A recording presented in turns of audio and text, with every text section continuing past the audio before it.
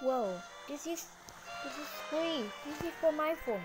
It's an iOS post, and also this is not my thing, not my videos. Then that's instead very cool.